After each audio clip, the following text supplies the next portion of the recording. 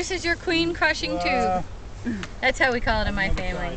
So this is actually a queen catcher and a queen marking tube, and so and so she's running around in here, and I'm gonna just kind of gently let her work her way down in here, and then when I see her like kind of walking in, I'm gonna shake him so she falls down. Um, I don't think they form either. I think ta-da. or I could just do it the j- the easy way, and she would just walk down and perform, like as if that we were making a video of this, and that she really wanted to be famous. And I've posted it on the YouTube of the Maine State Beekeepers Association. So there she is running around. Green is the color of 2009. There's a five-year little increment of colors.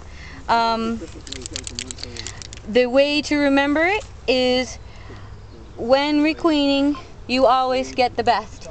White, red, yellow, green, blue. Um, why yellow is one of the colors, I have no idea because they look just like pollen.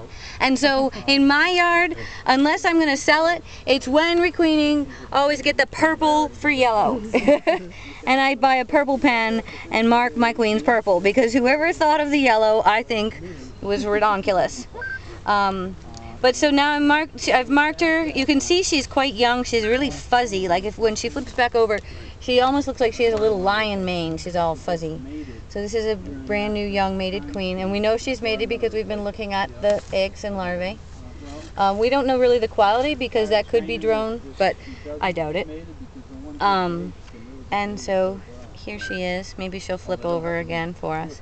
But that's Marky and Queen. So then you can set her aside and put everything back together and then let her back into the hive. Um, that gives a few minutes to let the paint dry and so that you know it doesn't get wiped off as quickly. Um, sometimes you'll actually see the queens like kind of immediately like rubbing at their paint marks. Um, but so that's marking a Queen. When you set her aside, always set her in shade.